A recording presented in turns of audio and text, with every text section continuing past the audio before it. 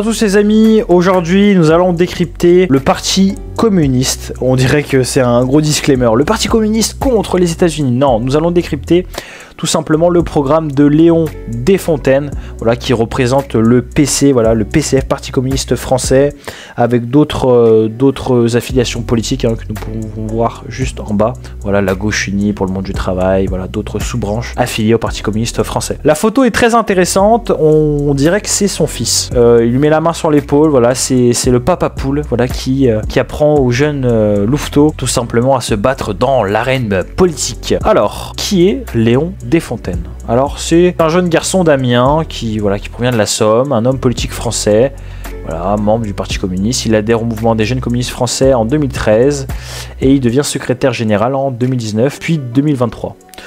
Donc voilà, un assez jeune, 28 ans. Donc il était porte-parole de Fabien Roussel pendant l'élection présidentielle de 2022. Il a été désigné tête de liste, voilà, pour les élections européennes. Nous allons nous intéresser au programme.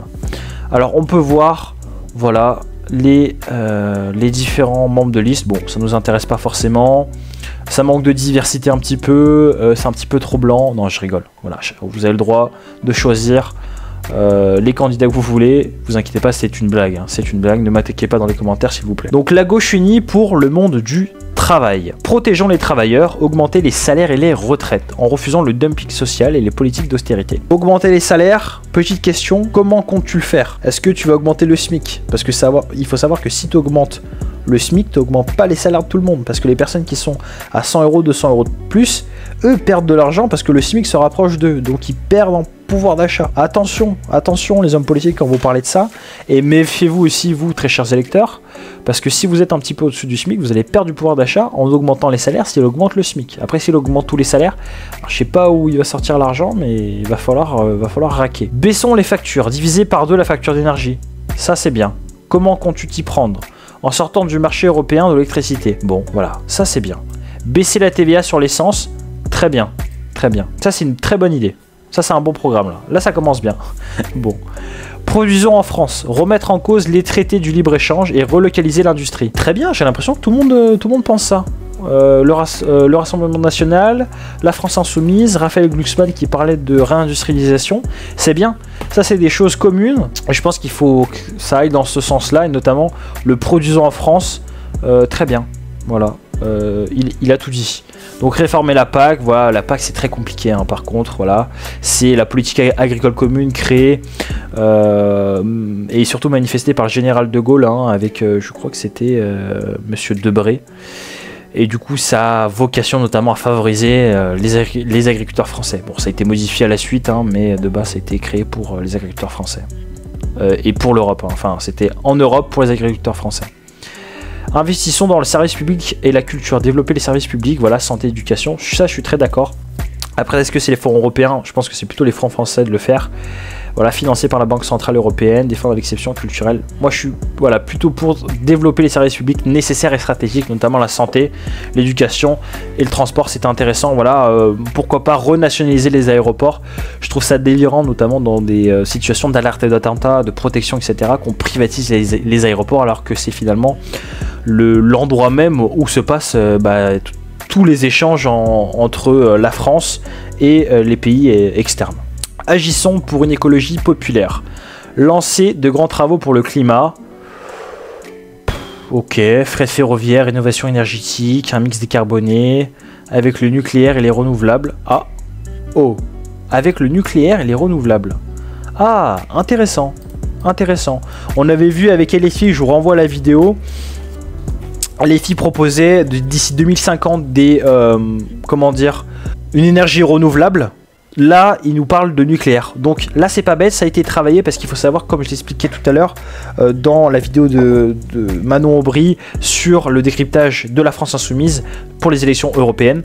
Je pense qu'il faut tout simplement rappeler que le nucléaire est nécessaire, notamment dans une société comme la France qui est super connectée on nous favorise en plus avec l'arrêt du pétrole et le commencement euh, de, des voitures électriques. J'enregistre cette vidéo avec un PC.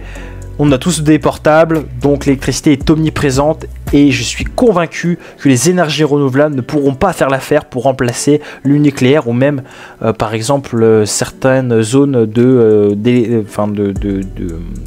productivité à charbon, enfin d'électricité à charbon. donc, enfin je me rappelle plus comment ça s'appelle, des centrales à charbon, voilà. Je trouve que Léon Desfontaines fait preuve d'une honnêteté intellectuelle car les énergies renouvelables ne pourront pas remplacer les énergies actuelles fossiles et nucléaires, étant donné que bah, déjà eux ne peuvent pas se recycler et ne produisent euh, finalement une quantité infime quand on regarde sur les statistiques euh, d'énergie euh, concrète. Imposons l'égalité femmes-hommes. Je suis d'accord. Attention, attention avec ces finalement ces enfin cette idée-là.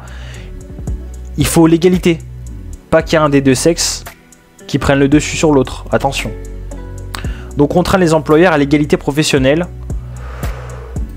Mitigé sur ça, j'ai du mal à, contraindre, euh, j'ai du mal à savoir comment on peut contraindre les employeurs, enfin les, entreprises à, l'égalité professionnelle, notamment dans certains secteurs, le BTP.